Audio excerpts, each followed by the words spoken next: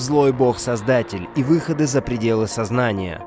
Автор, художник, поэт и философ. Уильям Блейк, ветхий днями, великий архитектор.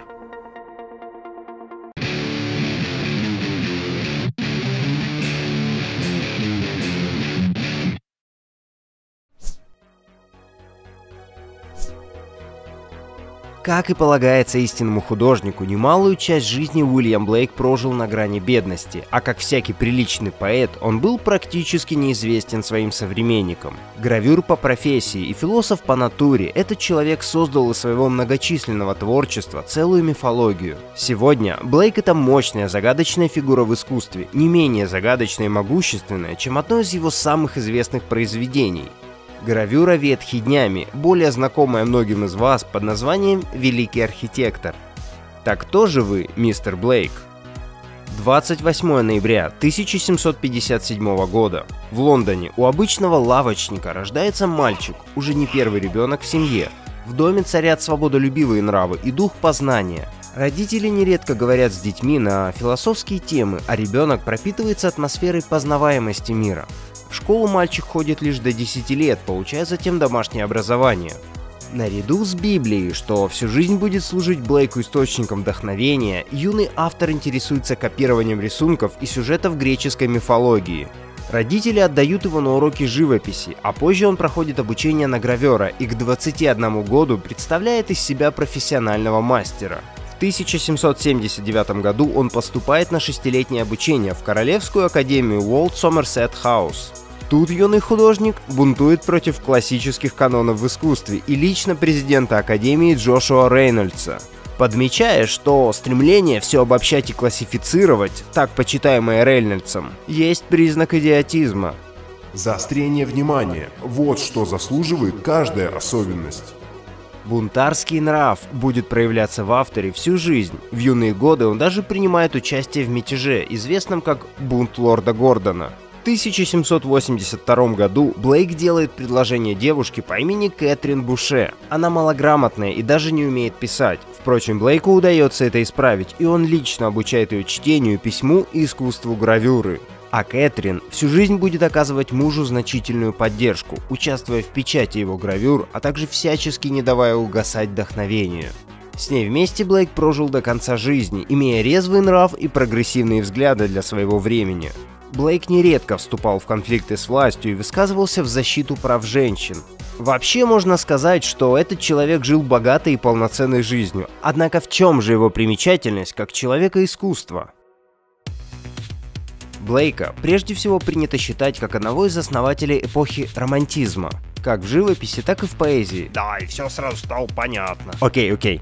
Романтизм – это такое направление в европейской и американской культуре, которое было на рубеже 18-19 века. Оно во многом противопоставляло себя классицизму. Романтисты во главу всего ставили эмоциональность, вдохновление, индивидуальность и искренность, в то время как классицизм проповедовал рационализм, практику и просвещение. Была в этом какая-то механичность. Говоря совсем примитивно, романтисты это выпившие гуманитарии, а классицисты это технари, которым дали кисти и краски.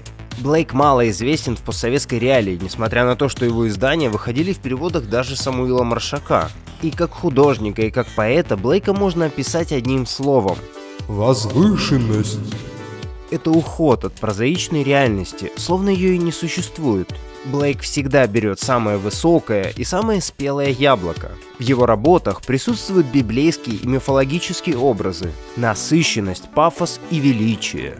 Уильям Блейк сумел предопределить многие веяния в искусстве, еще не понятые его современниками. У него нет просто красивых картин, любая из его работ несет в себе сакральный смысл. Хороший пример – работа мастера Ньютон.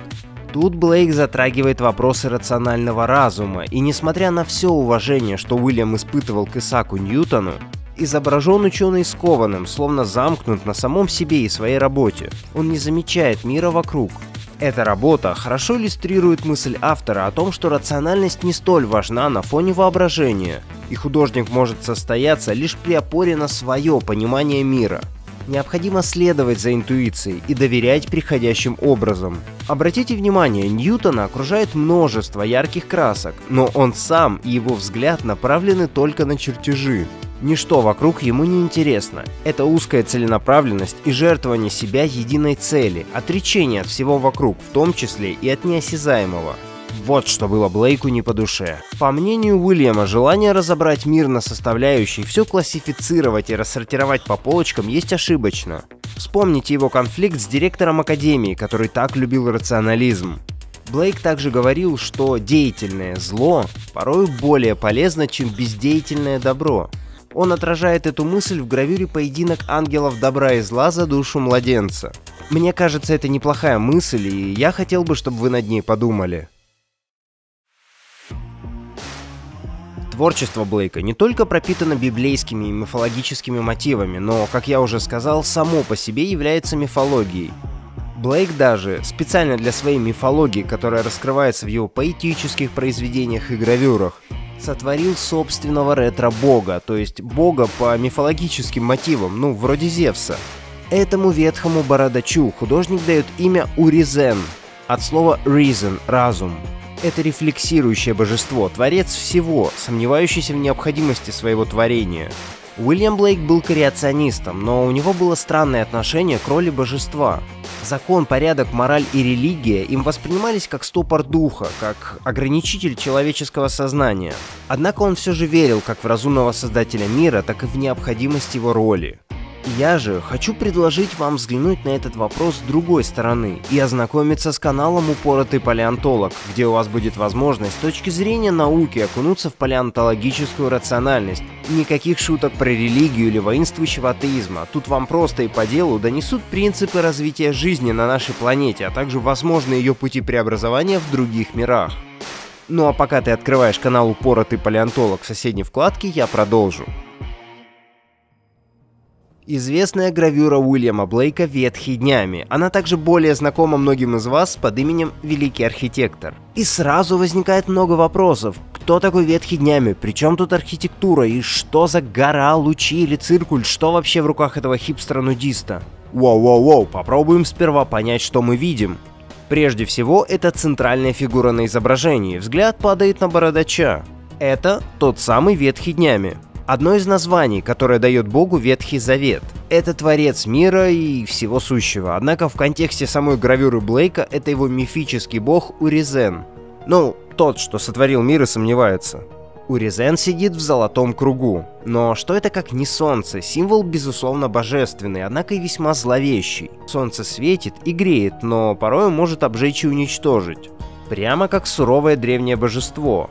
Уризен окружен темным таинственным пространством, окутан облаками и тем самым дает нам понять, что многое остается за гранью нашей доступности.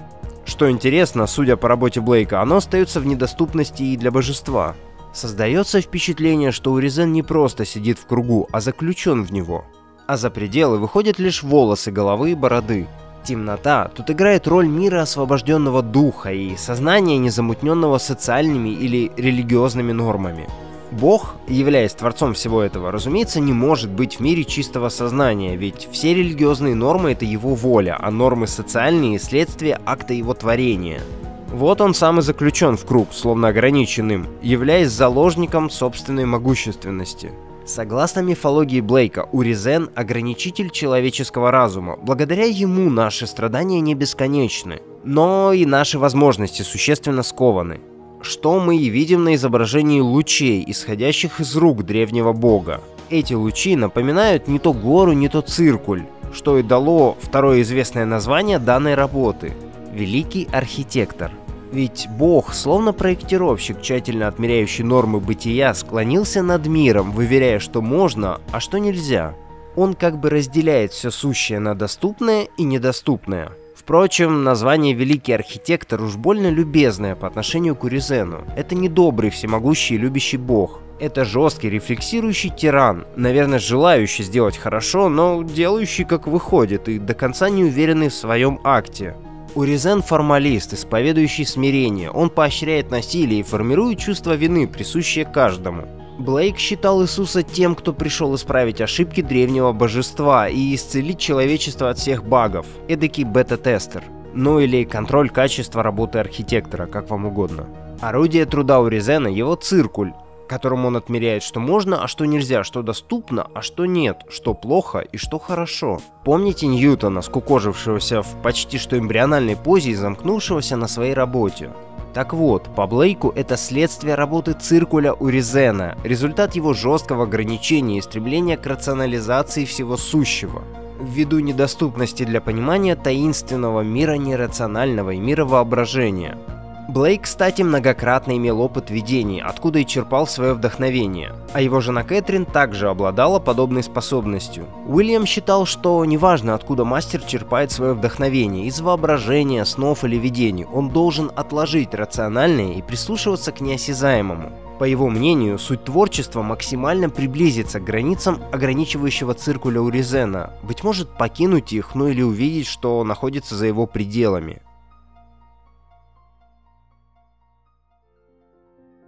Творчество Блейка всегда ходило по грани ереси. Для своих современников он был слишком странный и нетривиальный, однако потомки сумели по достоинству оценить автора Блейка. Блейк — это и поэт, и гравюр, и мистик. Было бы просто нелепо пытаться вместить столь объемную персону в один небольшой ролик в интернете. И я думаю, что мы еще вернемся к этой потрясающей личности, ну как минимум в контексте противостояния классицизма и романтизма к которому Блейк имеет самое непосредственное отношение. Тут же мне хотелось донести до вас весьма интересный и крайне прогрессивный для своего времени взгляд мастера на роль создателя на его характер. Это древний, сомневающийся бог, бог-заложник собственной могущественности. Существо далеко не идеальное и не вселюбящее, однако действительно пытающееся сделать как лучше, пускай жесткими методами.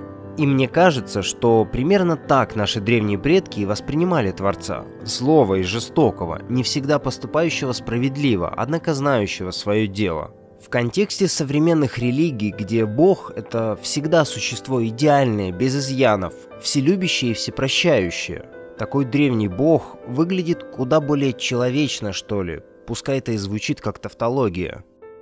Уильям Блейк не был по достоинству оценен своими современниками, однако его потомки искренне оценили тот вклад, что он принес в искусство. И мне кажется, что среди наших коллег, наших друзей, наших родственников вполне могут быть люди, чьи действия будут оценены только спустя долгие годы, возможно даже спустя долгие годы после их смерти. Чаще присматривайтесь к своим друзьям. Быть может, кто-то из них творит что-то великое – а вы просто этого не замечаете и помогаете этому развиваться. Это важно.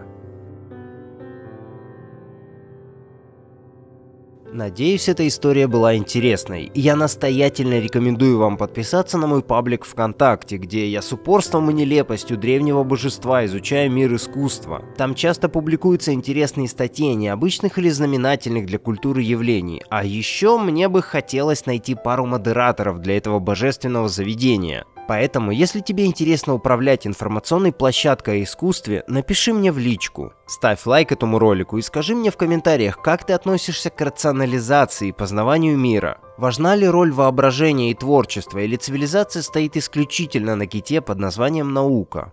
Подписывайся на этот канал, тут мы часто говорим об искусстве, а также проверь канал палеонтолога, если хочешь узнать, как митохондрии стали симбиотической формой жизни, какие виды существовали бок о бок с динозаврами и как генетический код влияет на поведение биологических видов.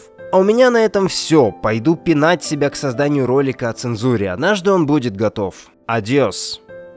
Возвышенность. I will come back from the coming back.